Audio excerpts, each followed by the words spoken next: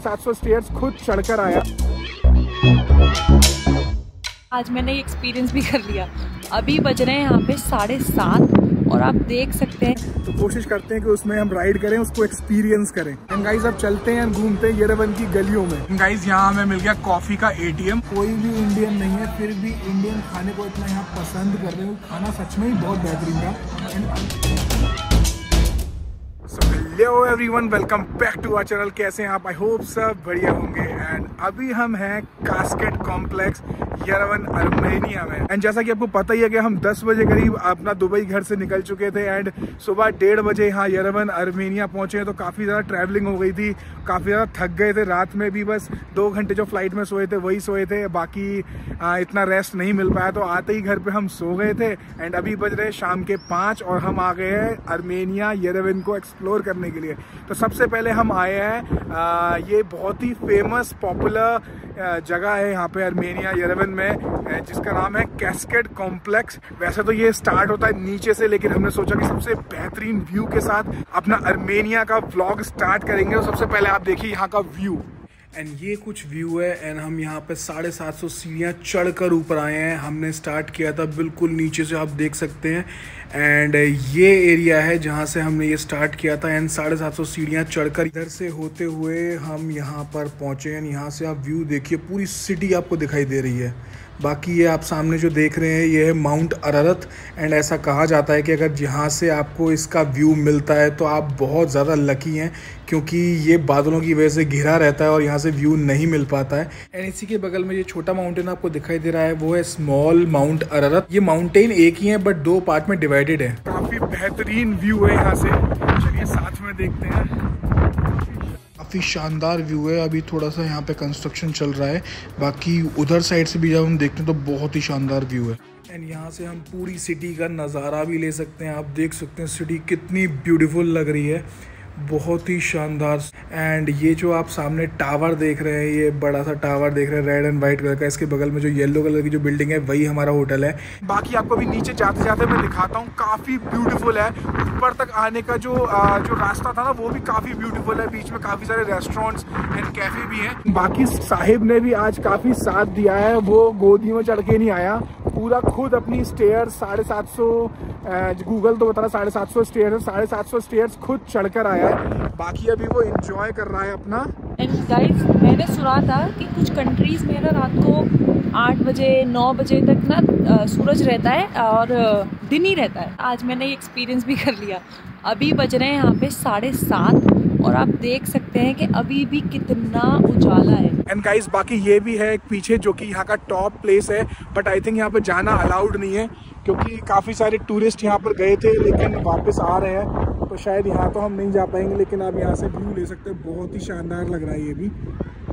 And बाकी इसके opposite में एक ये भी कोई चीज़ है बट मेरे को नहीं समझ में आ रहा ये क्या है। कुछ लिखा हुआ भी है बट गेट भी क्लोज है। एंड गेट भी क्लोज है कुछ लिखा हुआ भी है बट हमें यहाँ की भाषा नहीं आती। समझ नहीं आ रहा बट कुछ ना कुछ चीज़ ये भी है क्योंकि लोग यहाँ पर भी जा जाके देख रहे हैं सिम्बा कैसा लगा आपको nice you like did you like Armenia हाँ you like the Yerevan Oh wow. Let's go. We'll go downstairs now. Okay. Guys अभी साहिब भैया बोल रहे हैं कि मुझे गोदी में ले लो क्योंकि अब मैं थक रहा हूँ और यहाँ से ना स्टेयर्स भी थोड़ी सी देखने में लग रही है कि कहीं गिरने का डर ना हो तो इस वजह से बोल रहा है गोदी में ले लो। बाकी चलते नीचे चल चलते आपसे बात करते हैं।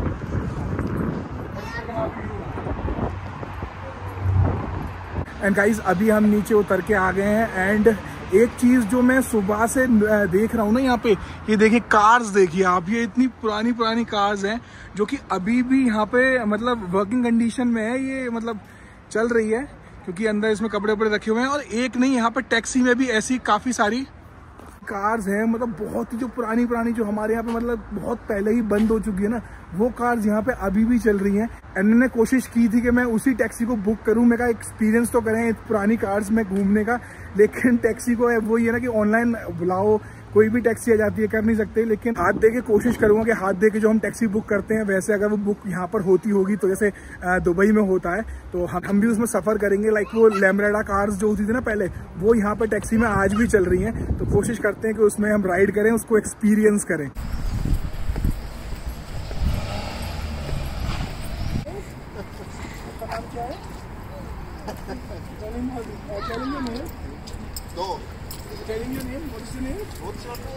एंड गाइज़ यहाँ से हम उतरते हुए यहाँ पहुँच चुके हैं। बाकी अभी इतना सफ़र और बाकी है।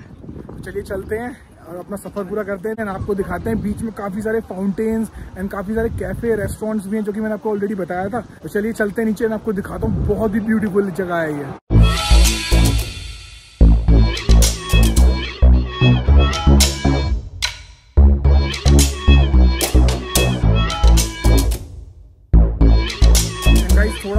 नीचे आए हैं तो आप यहाँ भी देख सकते हैं, यहाँ पर भी फाउंटेन है, ये चल तो नहीं रहा है।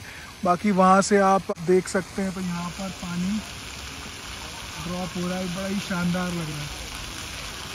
बहुत ही ब्यूटीफुल एंड गाइस अभी हम काफ़ी और नीचे आ चुके हैं एंड एक और चीज़ है, जो ये पूरा कंस्ट्रक्शन है ना, जो पूरा ये बना हुआ है, ये सब कुछ आप देख सकते हैं लाइम से बना हुआ है। पूरा लाइम लगा हुआ है, ऊपर से लेके नीचे तक। बाकी इसका कंस्ट्रक्शन जो स्टार्ट हुआ था, जैसा कि मैंने गूगल में पढ़ा 1971 में ये स्टार्ट हुआ था कंस्ट्रक्शन एंड ये कंप्लीट हुआ था 1980 में। एंड अभी हम देख सकते हैं आप, इतना वहाँ से यहाँ तक आ चुके हैं। बाकी इतना और बाकी रह गया चलने के लिए। चलिए, चलते हैं। काफ़ी थक गए हैं क्योंकि वैसे चढ़ने में थकावट हुई थी, उतरने में तो इतनी खासा थकावट नहीं हो रही है।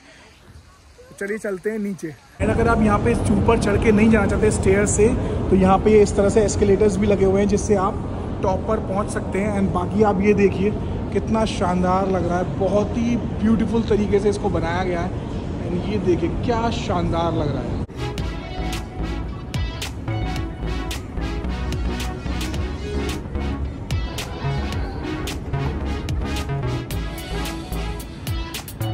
साथ साथ यहाँ पे गाइस ये सन सुनसी दवित एक म्यूज़ियम भी है। तो चलिए इसको भी एक्सप्लोर करते हैं।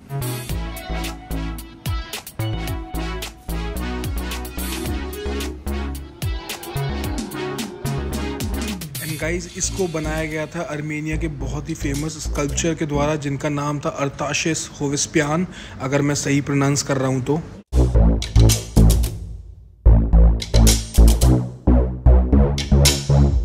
एंड गाइस फाइनली हम पहुँच चुके हैं नीचे। एंड आप देख सकते हैं यहाँ पे कैफ़ेज़ हैं। एंड लोग देखिए कितना इन्जॉय कर रहे हैं इस ब्यूटीफुल प्लेस को। ये देखिए, बहुत ही शानदार है। सबसे नीचे भी एक ये था लाइक जहाँ पर सारा वाटर आके आई थिंक यहीं पर जाता होगा, जो कि ये थोड़ा इस तरीके से है।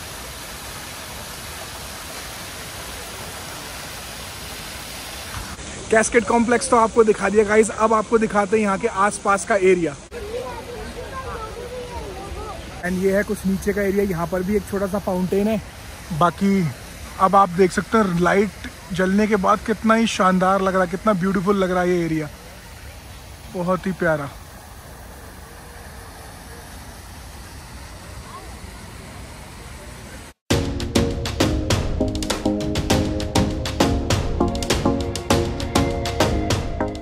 एंड इस तरीके से आपको यहाँ पे मिल जाएगा जहाँ पे आप आराम से अपना पानी पी सकते हैं फ्री ऑफ़ कॉस्ट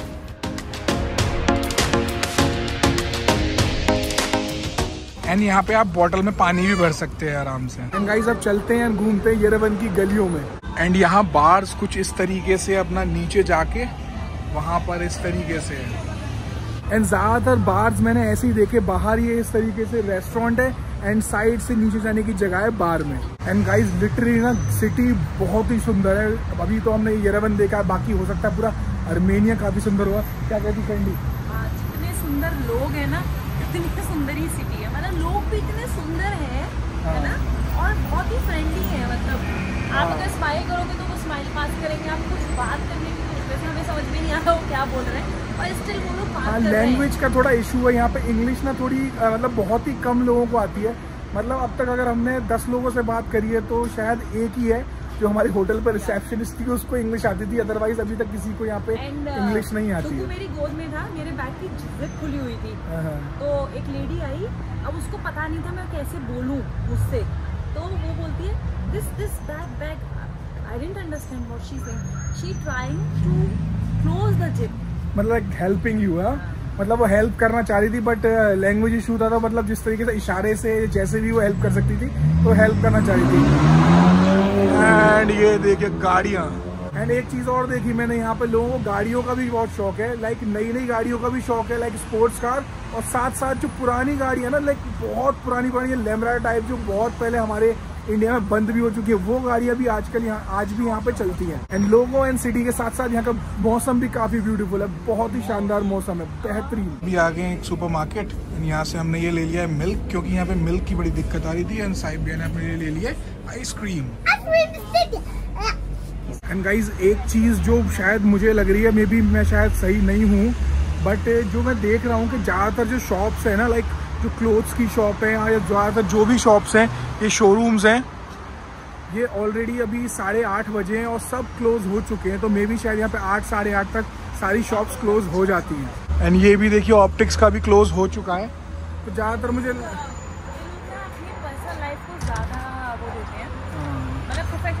पर्सनल भी घर पहुँचे और अपनी फैमिली के साथ क्वालिटी टाइम स्पेंड करें। आपने देखा था कास्केट पे कितने लोकलाइट से जो लोग अभी घूमने आए थे इस टाइम हाँ तो यही है कि मतलब अपना काम भी करते हैं और अपना इवनिंग में इंजॉय भी करते हैं। एंड कह सकते हैं गाइस कि यहाँ पे साढ़े आठ बजे तक सब कुछ बंद हो जाता है ग्रॉसरीज एंड कैफ़े या बार इनके अलावा।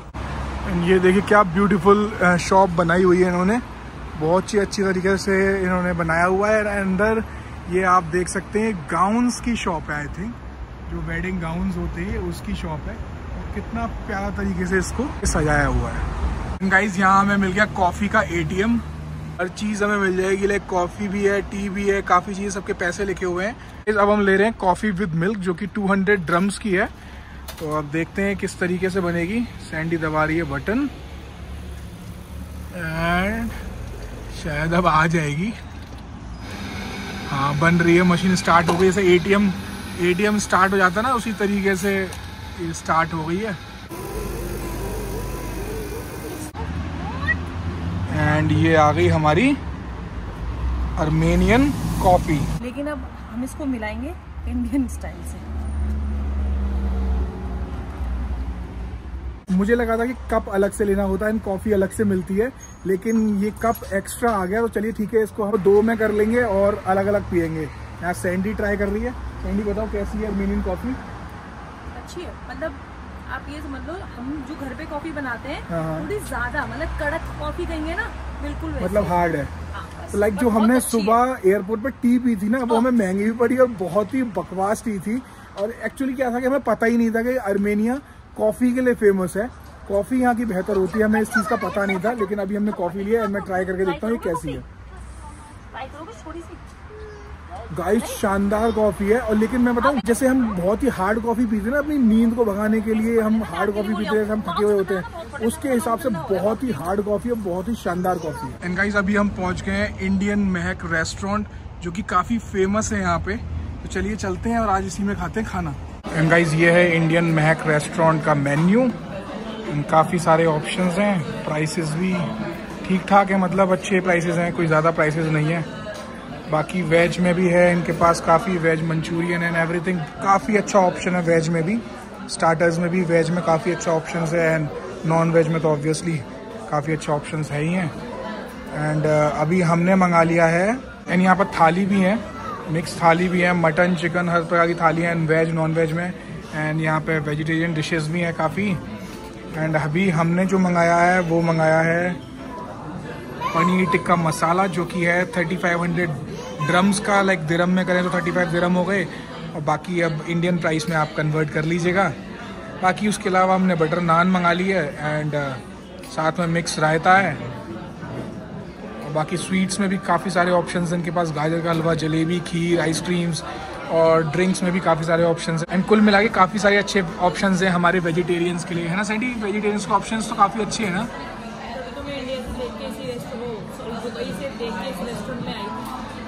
मतलब संध्या ने पहले ही चेक कर लिया था इस रेस्टोरेंट को। मतलब काफ़ी अच्छा भी था, इसने सारे मेन्यू वेन्यू चेक कर लिए थे, ताकि हमें खाने की यहाँ पे दिक्कत ना आए। वैसे तो हम खाना लेके आए थे, पर फिर भी एक टाइम तो बाहर ही खाना पड़ेगा। क्योंकि दोनों टाइम होटल में बना के खाना है पॉसिबल तो नहीं, क्योंकि दिन में हम बाहर घूमेंगे तो ऑब्वियसली हमें एक रेस्टोरेंट तो चाहिए दिन में खाना खाने के लिए। बाकी ब्रेकफास्ट तो इंक्लूसिव है होटल में ही बट देखना पड़ेगा कि वहाँ पे हमें क्या मिलता है खाने को।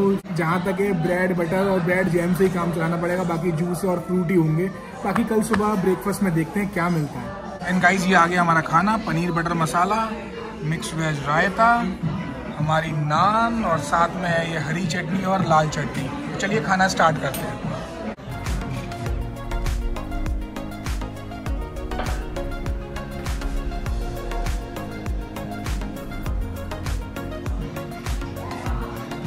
खाना गाइस लिटरली बहुत शानदार था। जैसे कि आप देख सकते हैं, हमारे अलावा कोई भी इंडियन नहीं है, फिर भी इंडियन खाने को इतना यहाँ पसंद कर रहे हो। खाना सच में ही बहुत बेहतरीन था। एंड अंदर भी सीटिंग है, वहाँ भी सिर्फ़ आउट ऑफ़ इंडिया के लोग हैं। इंडिया कोई भी नहीं है। हम अकेले हैं जो इस रेस्टोरेंट में इंडियन है। खाना लिटरली बहुत अच्छा है। तो फाइनली गाइज़ पहुँच चुके हैं अपने होटल। एंड आज तो ये व्लॉग हमने पाँच बजे स्टार्ट किया तो काफ़ी कम एक्सप्लोर कर पाए हैं अर्मेनिया को। कल से तो हमारे पास पूरा दिन होगा येरेवन अर्मेनिया को एक्सप्लोर करने के लिए। तो जो नेक्स्ट व्लॉग होगा, वो तो बहुत ही धमाकेदार होगा।